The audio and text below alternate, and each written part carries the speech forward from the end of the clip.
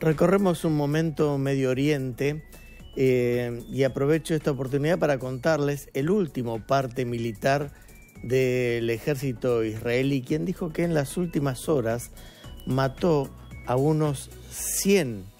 militantes palestinos y que además encontró un, un departamento y un pozo con armamento. Bueno, fueron las fuerzas de Israel quienes dijeron que eliminaron a estos 100 terroristas palestinos en la ciudad de Rafah. Esto ocurrió en los últimos días y fue una declaración militar del ejército israelí publicada en el día de hoy junto con este video que muestran lo que se dice es una eliminación de militantes en Rafah y armas encontradas en un departamento y un pozo de armas. El comunicado dijo que los soldados que operaban en el distrito de Subaru de Rafah